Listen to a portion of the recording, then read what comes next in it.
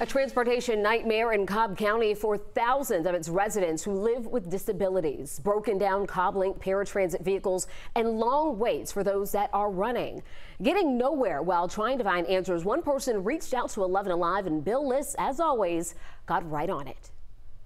This is our only means of transportation. For Michael Peak and thousands of other disabled residents who rely on CobbLinc Paratransit, it's been an almost insurmountable challenge. Most of the vehicles are broken down or sitting idle. The buses are constantly broke down.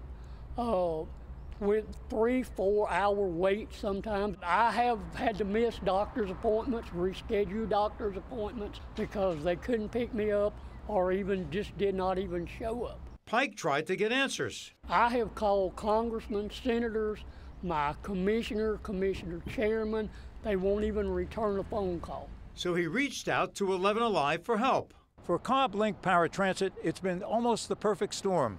Staffing woes caused by the pandemic, vehicles breaking down, and the inability to get parts, even out of the junkyards, and up to a two year wait to get new vehicles delivered.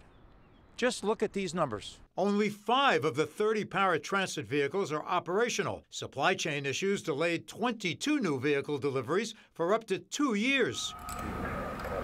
But we found steps are being taken to address the issue. CobbLinc is reconfiguring three borrowed senior service vans to accommodate disabled passengers. Eight leased buses with ramps and lifts are on the way, along with six leased minivans. And Cobb County's Deputy Director of Transportation, Carl Von Hagel, offered Pike this promising update. We've got 14 vehicles coming beginning June 1st. We'll start to see that fleet coming into operation. We're having vehicles right now arranged to be driven down here from Indiana. And we'll be back in Cobb in early June to check on the progress. From Marietta, Bill Liss, 11 Alive News.